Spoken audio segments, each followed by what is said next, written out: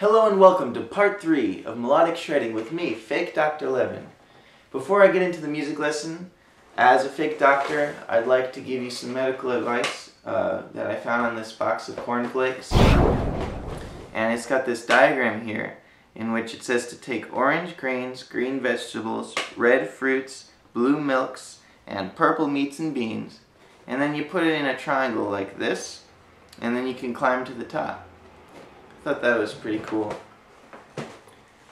So in this series I'm talking about different ways to use shred in your music that I think are really cool. In the first week I talked about how to use shred to connect two melodies. Then in the next week I talked about how to use shred as a melody itself. And then this week I'd like to talk about how to use shred as a texture that supports your melodies and creates a sense of atmosphere. So there's lots of ways to do this. And the way I'm going to do this is by playing fast arpeggios uh, that fit with the chord progression of the music uh, I'm adding this texture to. So for an example, I'm going to use the chord progression from the song Creep by Radiohead because it's a cool chord progression and I really like it. And the chords are G major, B major, C major, and C minor. And I'm going to play seventh arpeggios that fit with each chord uh, very fast, and that's going to be how I create the texture. And I'm going to use this technique that I talk about at length in my other video called uh, something like how to how to play fast arpeggios without sweeping or something like that. I'll have a link to that video um, in the comment section below so you can check out how to do this technique I'm using. But I want to show you how this fits in with the melody and how this creates a texture. And so the point isn't so much talking about how to play fast arpeggios, it's just talking about that you can take, the fact that you can take your fast vocabulary and use it in a textural way. And here's an example. Oh, I kicked over my, uh, my cornflakes there. Here's an example. So I'm going to go to my loop station here, I'm going to play the chords and the melody for Creep.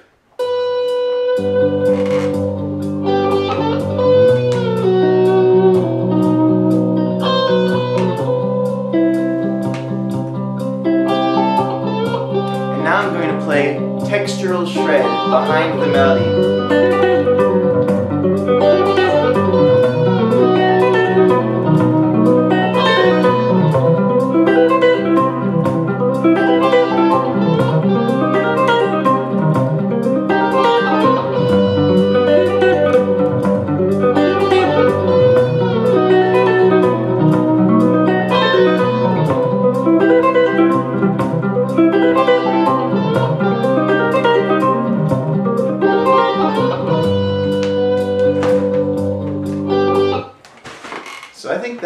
Just a really beautiful sound and um, it fits in all kinds of different places in music and yeah I really enjoy it so I wanted to show you.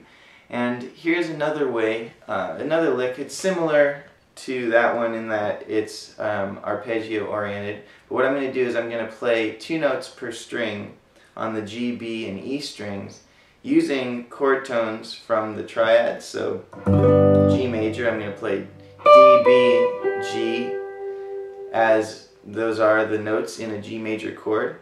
But I'm going to make sure that I'm doing two notes per string and I'm going to fill in the notes that aren't in the arpeggio, notes that aren't D, B, and G with just scale degrees from G major. So I'm going to go, that ends up being D, B, G, F sharp, E, D, I'm gonna do it like this. I'm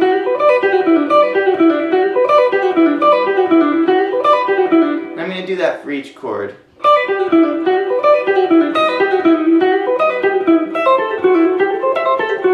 Um, and then the last one is uh, yeah, minor.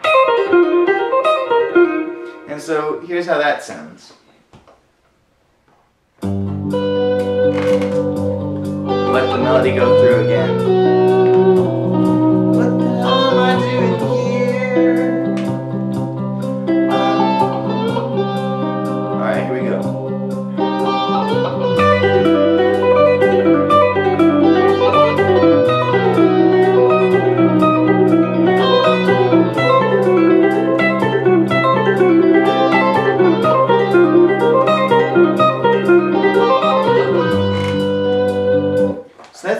Cool to me.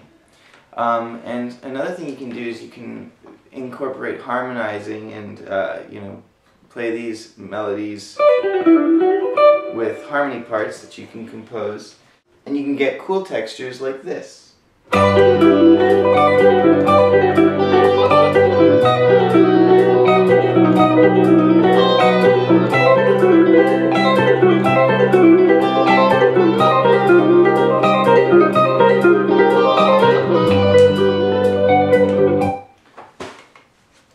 That's just a really cool thing you can do with fast music, uh, fast ideas, is just use them in the background. People really focus on shredding so much because it takes a long time, you know, to be able to play fast stuff. So you spend a lot of time working into your playing and then psychologically that tells you, oh, this is really important because I'm doing it so much and I'm working so hard on it. This is something I should put in the forefront. But it can also function as a really cool background supportive textural idea.